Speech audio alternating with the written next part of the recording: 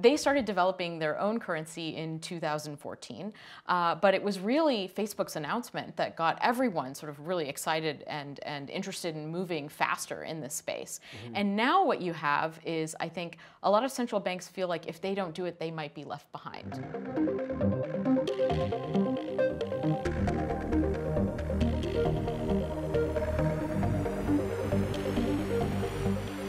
Some view digital currency adoption as a race between public and private markets, but the reality is that forms of both will ultimately coexist. In order to understand what that scenario looks like, I spoke to Neha Narula, Research Director of Digital Currency at the MIT Media Lab, who deliberately spends as much time researching central bank digital currencies as she does stablecoins like Bitcoin. Neha, thank you so much for taking the time to chat with us uh, this afternoon. Um, now, I wanted to talk specifically to you about um, central bank digital currencies uh, and private market currencies. But before we do that, would you mind just introducing yourself and saying a little bit about your background? Sure. So uh, my name is Neha Narula. I'm the director of the Digital Currency Initiative, which is based out of the Media Lab at MIT. Uh, we're a group of technologists uh, and researchers who are focusing on cryptocurrency and digital currency research and development. So uh, when you say do research on, are you you're working with central banks to help them design a digital currency? Is that right? Yeah. So we actually work in two areas. One area is in cryptocurrencies, where we focus on decentralized networks, and then the other area is centralized digital currency. And uh, well, who has the biggest uh, centralized currencies out there? It's central banks. Um, mm-hmm and they are starting to investigate the idea of issuing their own digital currency. Uh, and so we've had the pleasure of working with a few different central banks. Uh, and more recently, we've been doing a project in the past year with the Federal Reserve Bank of Boston. In terms of rollout of a central bank digital currency, um, uh, I think you'll probably agree with me that it's inevitable that they will at least try at some point. Mm. Um, however, my question to you is uh, why don't central banks just kind of wait and let the private market make the mistakes. I mean, with all your amazing research, I'm sure they'll get it right. But um, you know, they could for free just wait and let the private market work out where the mistakes lie, and then you know wait a few years and then produce one that's much better. Because I assume that when central banks release a digital currency, they want to make sure that it's it's right. It's a good yeah, one. there's a lot of pressure. there's a yeah. lot of pressure to get it right. well, sorry. Let me let me ask you a, a follow up quickly. Is that are they under pressure because basically the likes of Bitcoin, and Ethereum are just getting so big that had they stayed at you know lower numbers with market caps around 10, 20 billion, uh, they wouldn't have been in such a rush. But because of the attention these coins and uh, this this technology is getting, they feel that they're they need to be there faster. Yeah, so interestingly, it's not actually Bitcoin and Ethereum that are putting the pressure on central right. banks, despite the fact that I think today crypto has a market cap around $3 trillion. That's peanuts to a central bank. Right. The real pressure is coming from uh, tech companies like Facebook.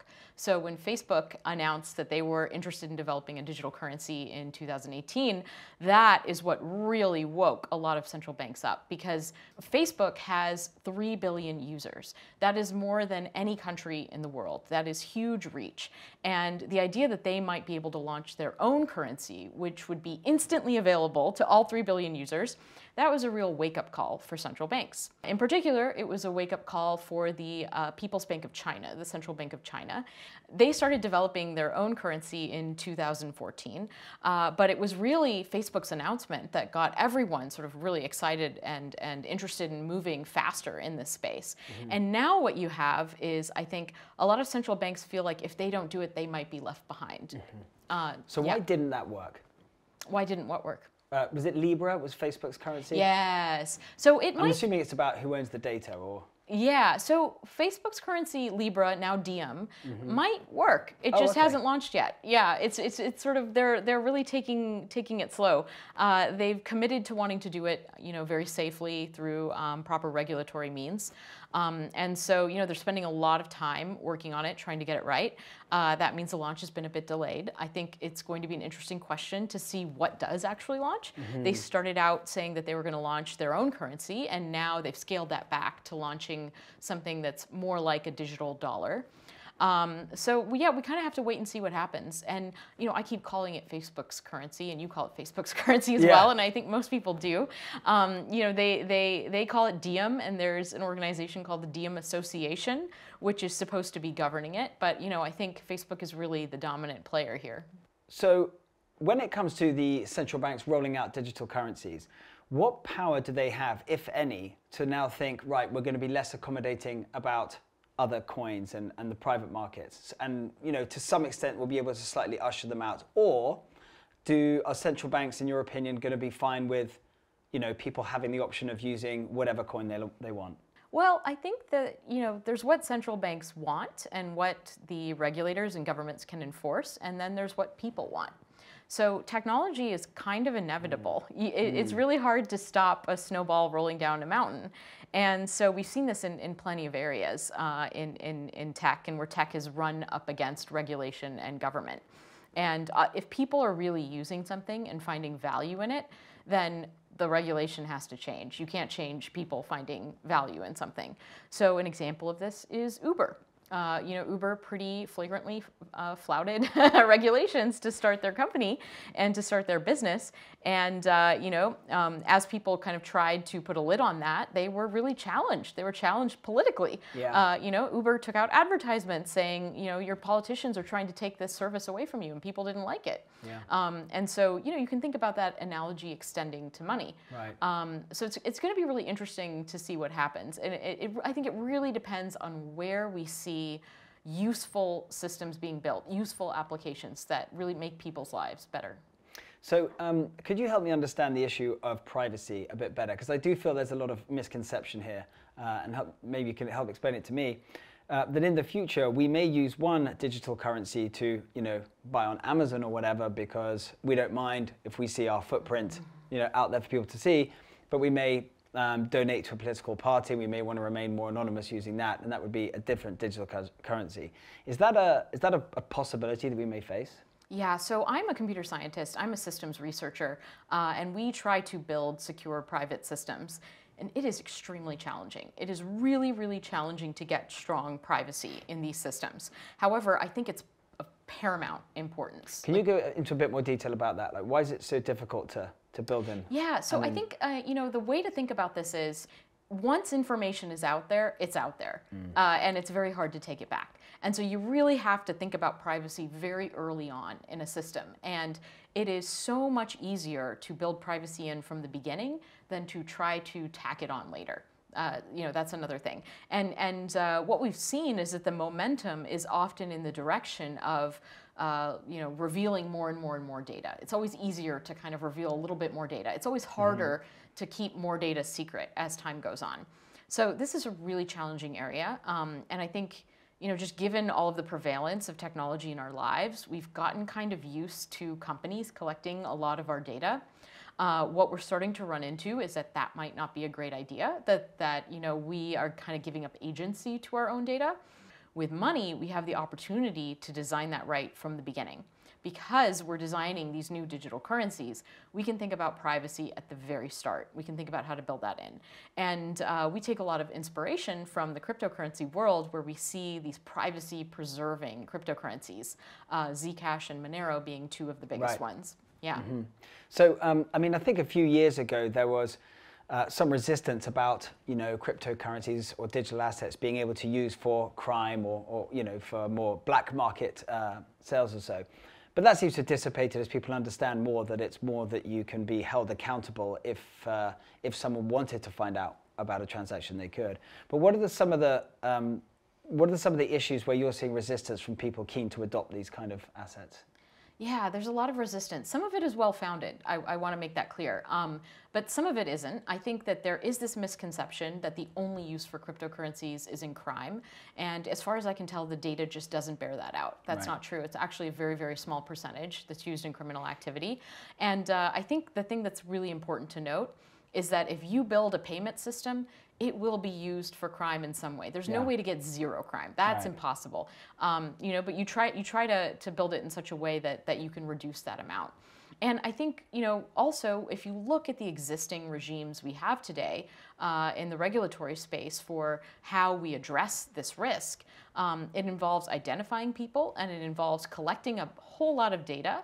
Uh, and it really puts the risk in a place where it's the incentive of the bank or the payment service provider to collect a ton of data and to flag anything at all that might even look slightly risky. Yeah. And so you end up with things like, um, you know, I hear all these stories about people who uh, pay, uh, you know, might pay a relative in another in another country once a month, and every single time that gets flagged yeah. as as a you know possibly fraudulent transaction, or people who. Um, you know, are uh, buying something for the first time from a new merchant. Mm-hmm. Um, that merchant doesn't have a lot of history. Their funds get frozen, you know, and they don't have access to their funds for 30 days. Yeah. So the systems we have right now just aren't efficient. They aren't doing as good a job as they could.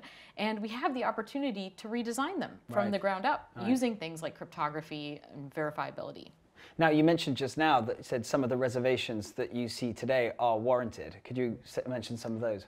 Yeah, so I think um, something that maybe people don't think about enough is the technology risk behind some of these uh, behind some of these cryptocurrencies and digital payment platforms. So I want to make it clear I'm I think this technology is incredible. I think it's right. going to change the world. It already is changing the world. However, that said, it is brand new technology. Right. So Bitcoin has been around the longest um, for about 12 years. And a lot of people like to say, well, it's never been hacked. It's never been hacked and it's out there. And, uh, you know, obviously if, if someone, you know, someone would hack it if they could. And I, I just don't think that's that's exactly true. I right. think that um, these systems actually, you know, there's a lot of different dynamics going on, and um, you know, we're still learning how to secure them effectively. That's a lot of the research that my group works on. Mm-hmm. And when you talk to the developers of these systems, you know, they they use words like, "Well, this is still an experiment, and we're still building. We're in the early stages. Where you know, there's going to be problems, but we're going to find them and we're going to fix them." Right. But then you talk to some of the investors, and they're using words like, "Well, this is hardened. You know, this is mm. this is government proof. This is this is hack proof. This is totally secure." And so there's we've noticed this divide between the developers and the investors, which is fine. I mean, it's a new technology, but I just think you know people need to be able to understand that risk and price it appropriately. So, are you surprised that um, a currency like Bitcoin hasn't been hacked yet? Uh, yeah, I am kind of surprised actually. Um, you know, there's been sounds like if anyone could do it, you could. Uh, I, I don't know about that, but but I, I, I think I do know people in the world who could. Yeah, right. and uh, you know, a lot of them don't because they don't want to. They yeah. want Bitcoin to succeed. Yeah, well, that's the difference. Is there's a lot of people who you know see this as the future and they want this to succeed because they can see all the benefits attributed to it. But. Exactly, but I mean, I think you know we we want this to work even in the most adversarial of cases. So. Uh, it's going to take a little bit more time and, and research effort to really, really get the foundation secure. Um, so if you don't mind me asking a kind of a crystal ball question, if you looked out five years to 2026, what do you think the world of uh, currencies and digital asset looks like then, roughly speaking? And what are the sort of issues we'll be talking about, do you think? Yeah, well, it's it's so hard to predict because the last five years have been so surprising. Right. It, everything is just accelerated so much faster than I ever thought it would. So 2026, I think that gives some central banks enough time, some major central banks enough time to launch their own currency. So I think we see a top six uh, including currency. the dollar. Uh, I, I, don't know if it'll be the dollar, but I think we'll see at least one top six. We're not going to hold you to this. Uh, at least one of them uh, has launched a, a, digital currency. I think that uh, the cryptocurrency space is going to be bigger than ever. Yeah. Um, and you know, just like with uh, with you know, we've seen these use cases come up that were a little bit surprising but really exciting and took the world by a storm. DeFi, NFTs, we're going to see even more of those. So, you know, we're going to see new business models built on top of these cryptocurrency platforms. I also think we might see a much smaller number of cryptocurrencies. I think the space that's is going to is going to winnow a little bit, whether yeah. that's due to regulation or hacks or, you know, whatever might happen. Well, Neha, I feel like I've talked to you for hours and hours, and thank you so much for spending the time chatting us today. And uh, I hope we get to chat again in the future. Yeah, that was great. Thank yeah, you thanks, very Jamie. much. the debate is over as to whether digital currencies will be a part of our lives or not. They emphatically will be. The question is how and when will they be adopted, and who will win between the private and public markets? Is there room for both? Well, the race is on, And the winner is likely to appear in the next few years. And that's why it's crucial to be learning about this now. If you'd like to read more on this topic, please go to ftserussell.com forward slash research, where you'll find much more information.